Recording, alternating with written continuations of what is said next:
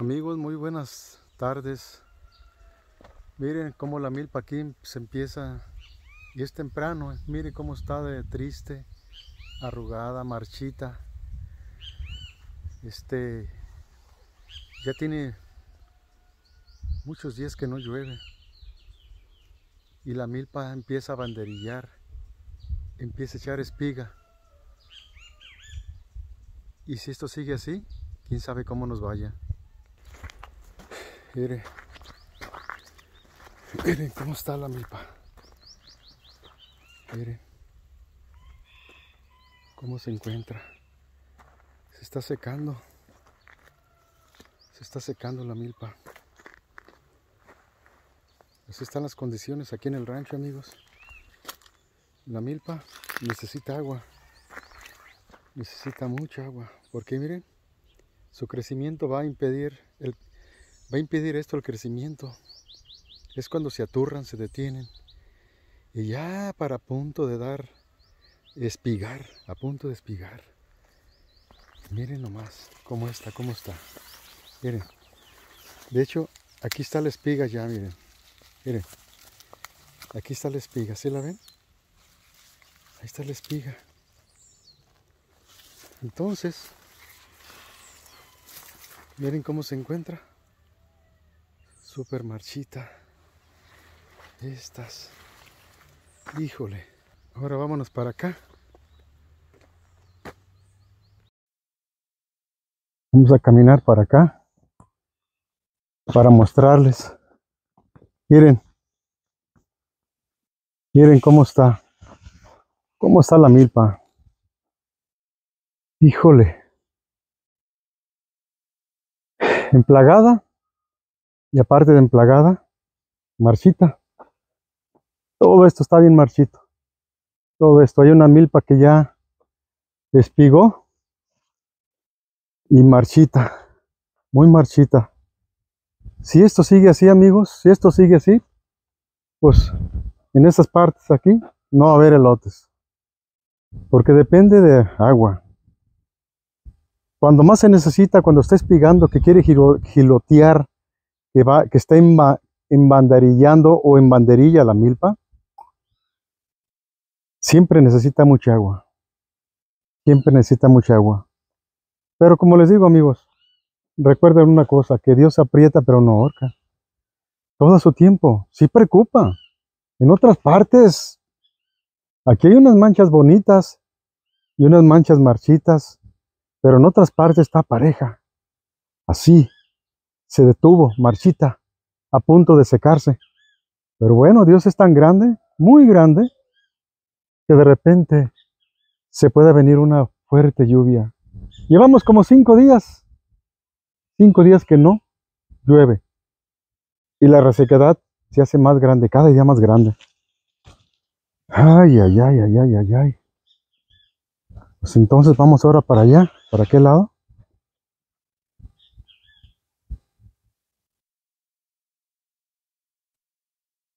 Miren, por ejemplo, esta milpa ya espigó, ya espigó. Y aquí tiene su muñequita, miren aquí, la tiene bien escondidita la muñequita, pobrecita muñequita. Ahí está, como diciendo, quiero agua, quiero agua. Pero muy pronto, primeramente Dios, le va a caer agua a esta muñequita no se ha desarrollado porque falta el agua.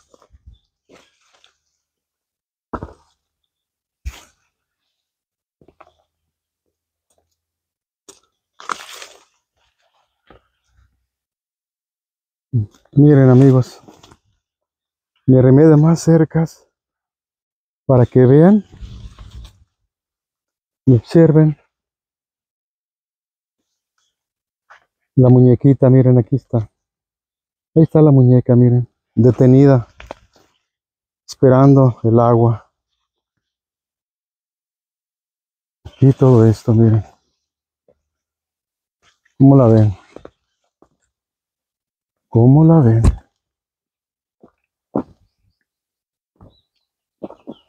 Híjole. Ahora vamos a ver la milpa que tengo acá también yo. Vamos a ver cómo se encuentra. Porque esta aquí es de, de mi hermano Pancho.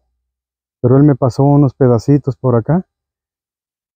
Ay, que ya las miré, ya las miré, están también detenidas, están marchitas. Me pasó como tres pedacitos, tres lomitas. para unos elotitos. Vamos para allá, vénganse. Vamos a ver qué pasa. Aquí está, miren. Este es el pedacito que mi, hermano me pasó, mi hermano Pancho. Miren cómo está. Miren cómo está. Pues el frijol que está aquí, amigos, miren. Es frijol cuarenteño ya, está maduro. Ya está maduro, ya no tardo en cortarlo.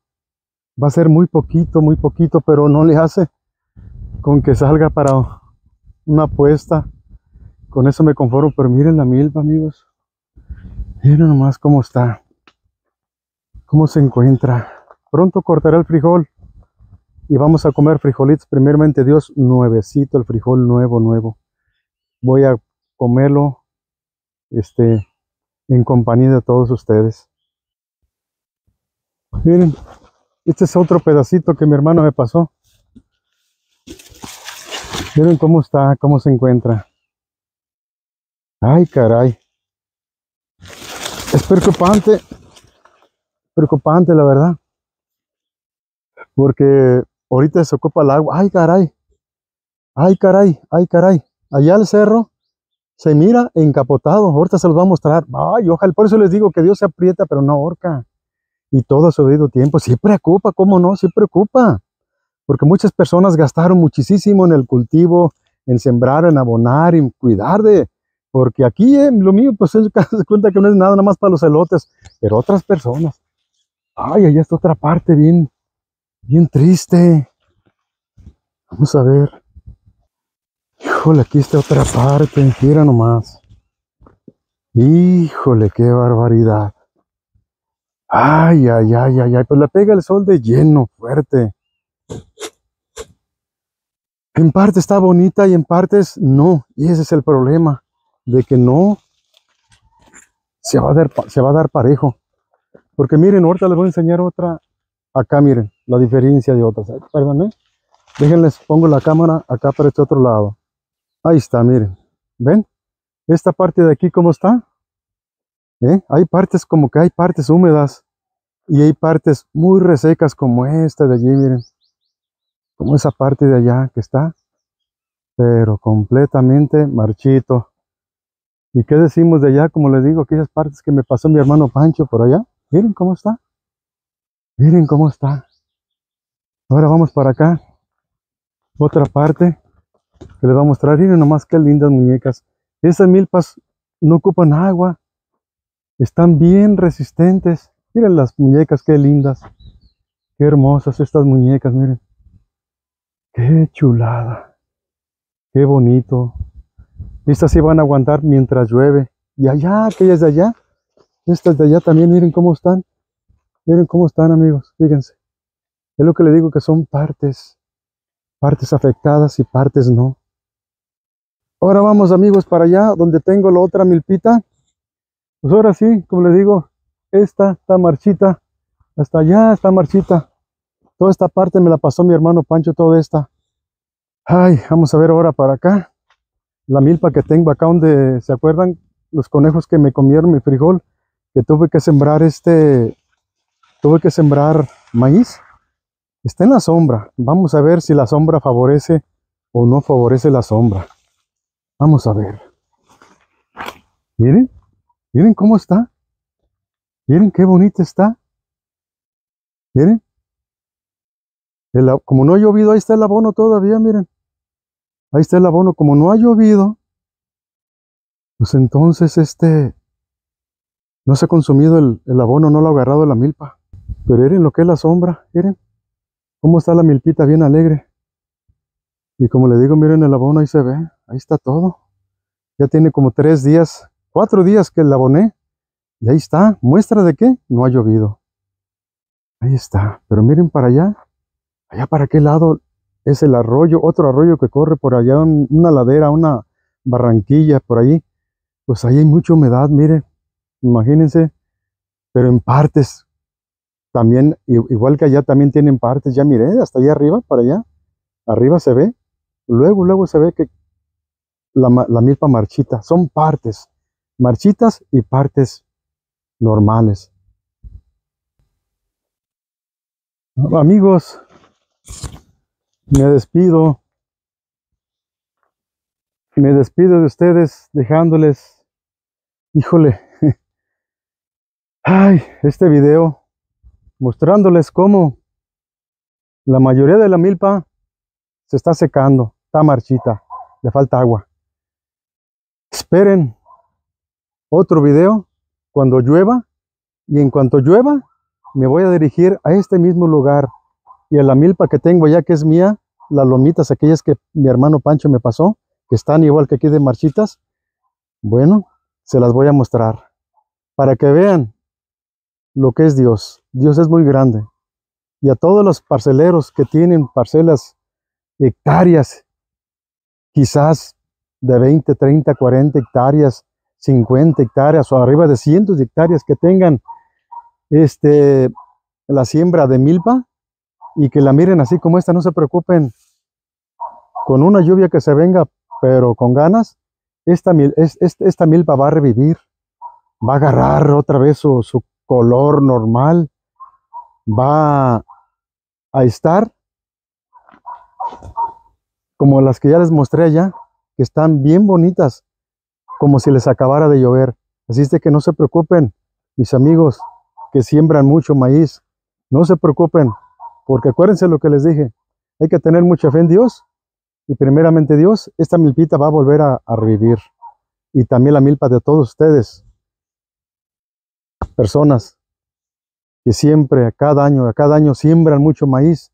Y gracias a Dios, a ese maíz que han sembrado, por cientos de hectáreas, algunas personas, pues de ahí vienen las tortillas, de ahí vienen las tortillas, porque si ellos no siembran en cierta cantidad de maíz, pero por mucho, pues imagínense la escasez de las tortillas, la escasez del maíz. Y es lo que ocupamos nosotros, maíz, tortillas, para combinarla con la comida. Si no hay eso, imagínense. Pero amigos, como les digo, cada año pasa lo mismo. Ustedes lo saben. Así es de que yo les doy mucho ánimo. Y no se desesperen, que primeramente Dios se van a venir unas lluvias fuertes y esto va a volverse a la normalidad. Esto, primeramente Dios, va, van a dar, van a espigar y van a dar sus muñequitas o van a gilotear y va a haber elotes, primero Dios. Un abrazote, un besote hasta la distancia, mi gente bonita. Les dejo este video, espero que les guste. Espero que les guste y ahí en sus comentarios, así como yo les doy este el ánimo a aquellas personas que siembran su maíz por cantidades enormes, por muchas hectáreas, así como yo les doy ánimo a ellos, ustedes también me van a dar ánimo a mí y a todas esas personas también que sembraron y que, como les digo, gracias a Dios y a ello, y a esas personas que siembran por cantidades de maíz, pues de allí, miren, tenemos nosotros, contamos y tenemos la esperanza de maíz y de tortillas. Adiós amigos, que Dios me los cuide, donde quiera que estén. Y ahorita les voy a mencionar allá, digo, les voy a mostrar el cerro, cómo se encuentra y las nubes. Por lo pronto ahí está, miren. Cinco días más o menos que no llueve aquí. Y miren, así está el cielo. Así está el cielo, con una gran esperanza de lluvia. Y ya se ve el cerro, miren. Allá se ve, allá se divisa que está encapotado, que muy pronto posiblemente. Y cada que viene el, agua de allá, de ese lado, que, se mira que va a llover de allá, siempre nos llega, cada que llega el agua por este lado, nos llega aquí a nosotros. Pues vamos con mucho anhelo y ya les mostraré el otro video de cómo llovió y cómo está esta milpa que miraron marchita. Adiós, los quiero mucho amigos. Mucho, mucho. Por favor, suscríbanse a mi canal La Voz del Rancho y activen esa campanita para que les lleguen las notificaciones de cada video que yo suba, porque lo hago con mucho cariño y aprecio porque se lo merecen. Mi gente bonita, mi gente de buen corazón. Gracias, gracias por apoyarme en cada video, aquellos comentarios tan lindos, tan hermosos, que siempre nos dan, que siempre nos brindan. Es algo bonito, algo que qué barbaridad. No tengo palabras.